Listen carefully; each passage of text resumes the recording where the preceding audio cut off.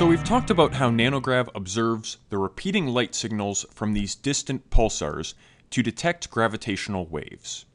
Now, when we think of observing distant astrophysical objects, we often think of telescopes where we look through an eyepiece and see a magnified image of the light coming from those objects.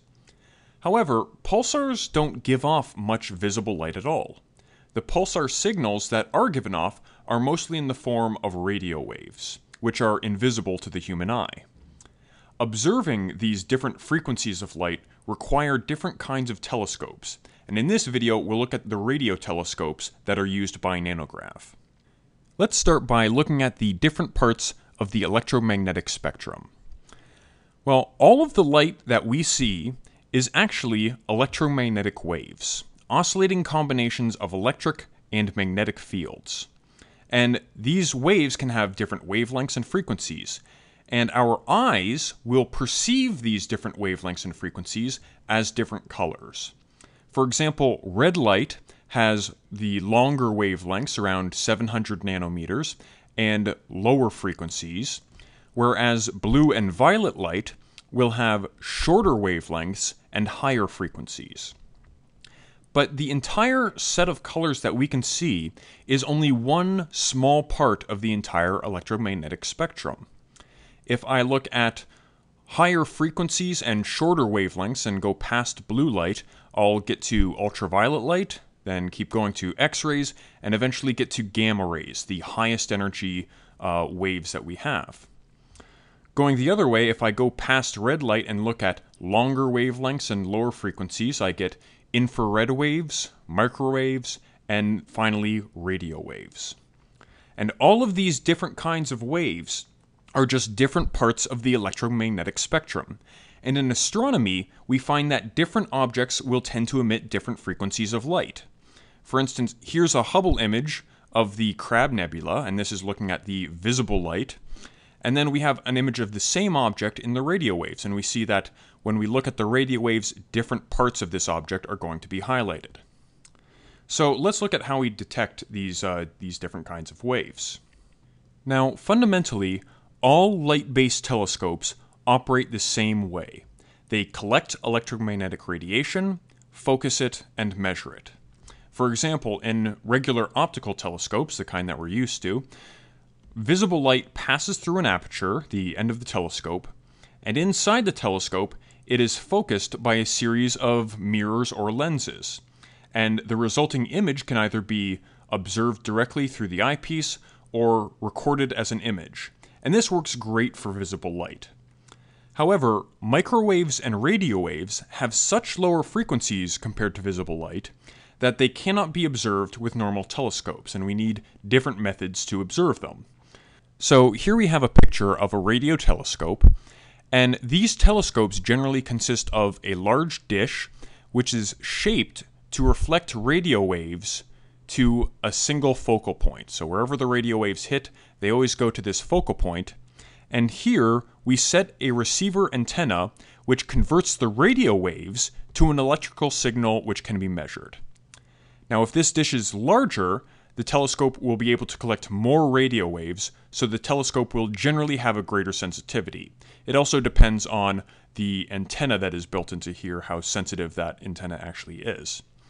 And these receivers are generally tuned to specific radio frequencies or ranges of frequencies, depending on what we're actually trying to observe. Now, Nanograv is fortunate enough to have access to two of the world's best radio telescopes the Arecibo Observatory in Puerto Rico, and the Green Bank Telescope in West Virginia. Now, Arecibo, pictured here, which you may recognize from a number of different movies, has a dish that's 305 meters across. And even this image does not do justice to how large this telescope is. You can see a couple of buildings over here that are simply dwarfed by the size of this dish. Now, the antennas for this radio telescope are actually housed in this structure, which is suspended over the telescope.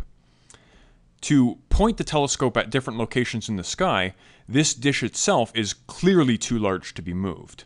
So it's aimed by moving the receiver over the telescope. And the shape of this dish is such that as the receiver is moved, it will be focused on radio waves from different locations in the sky.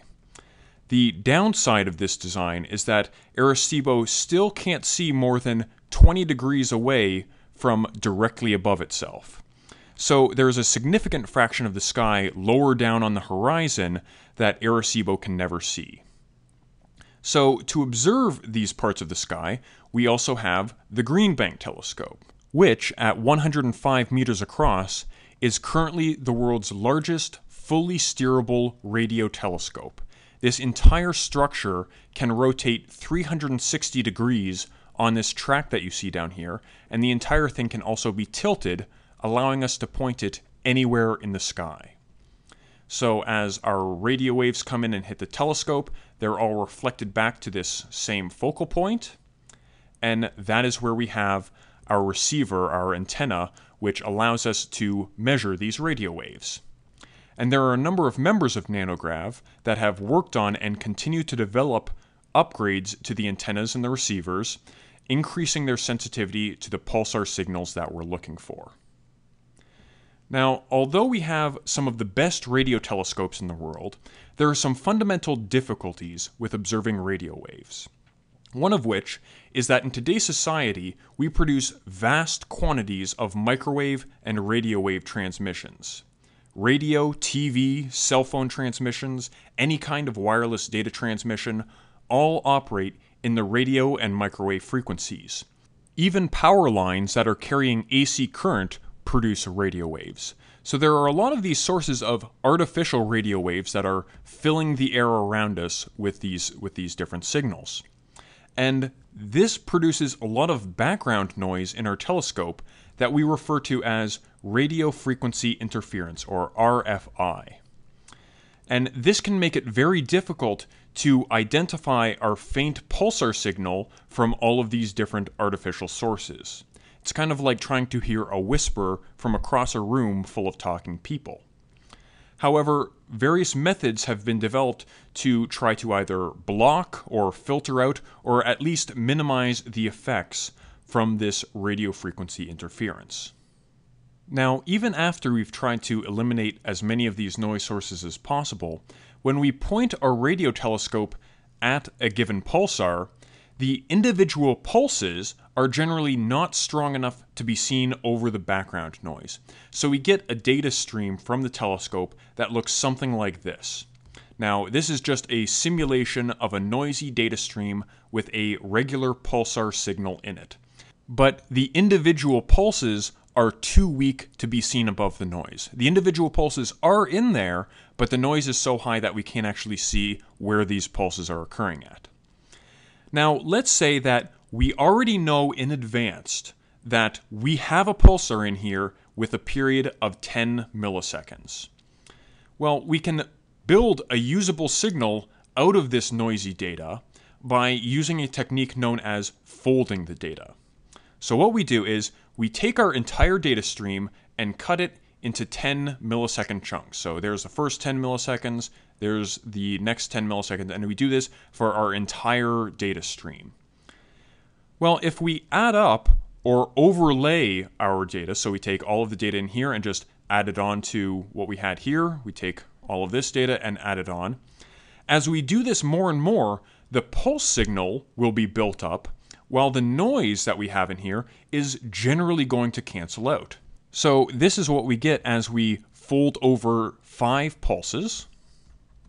And at this level, we still see that it's, it's basically still noise. I can't really discern where any signal is coming out of this.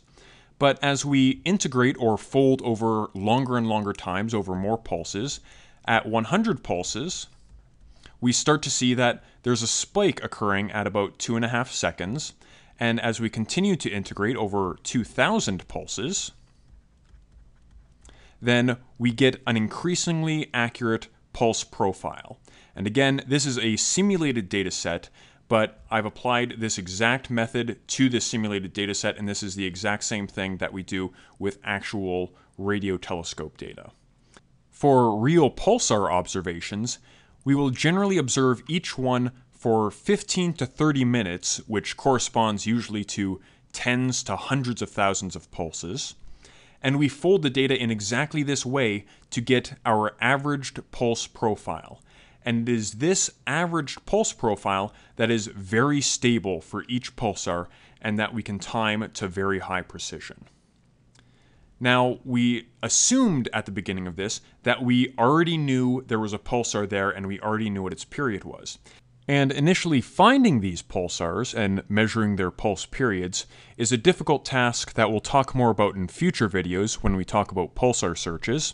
We'll also talk at that time more about a number of programs that members of Nanograv are involved with in professional outreach, getting high school students to help us with some of these real pulsar searches. Put a quick drop for the Pulsar Search Collaboratory and the Arecibo Remote Command Center. But before that, I want to talk about one other property that is very important to pulsar timing, which is pulsar delays due to the interstellar medium. So, as these radio pulsar signals move from the pulsar to the Earth, they're actually not moving through completely empty space. There's tiny amounts of dust and gas that are in the interstellar space, which we refer to as the interstellar medium or ISM. And in a similar way that as visible light moves through a prism, the light is going to be dispersed and scattered. In the very same way, the radio pulsar signals that travel through the ISM are going to be scattered and dispersed. And this can cause a number of changes to the pulsar signal, which overall will cause the pulse to be delayed, and we need to know how to account for this timing delay. Well, it turns out that in the same way that the different frequencies of visible light are scattered and dispersed by the prism by different amounts, the radio waves moving through the ISM are going to be delayed by different amounts based on their frequencies. The signals from our pulsars usually span a range of radio frequencies, and it turns out that the lower frequency parts of the signal are going to be delayed more by the ISM than the higher frequency parts. So over here we have a figure that shows a range of radio frequencies from about 1.2 to 1.5 gigahertz. And we can see from this dark band when the different frequency parts of the signal actually arrived at the telescope. So we see that the high frequency parts of our signal arrived a little bit sooner, whereas the low frequency parts of the pulse arrived a little bit later at our telescope. And the exact shape of this curved line tells us about how much interstellar dust and gas is between us and the pulsar. And we refer to this as the dispersion measure or DM. So if we have a larger DM, there's more interstellar dust between us and the pulsar, but once we have this measurement, we can accurately account for the timing delay caused by the interstellar medium.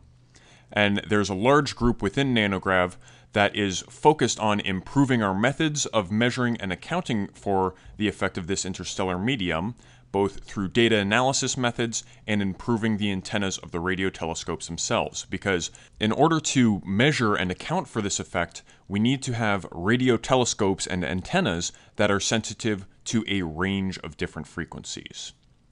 So it's very fortunate that Nanograv has access to two of the best radio telescopes in the world, Arecibo and the Green Bank Telescope, which are again fantastic tools to work with but we are also always finding ways to improve both the telescopes themselves and how we use these telescopes for pulsar timing.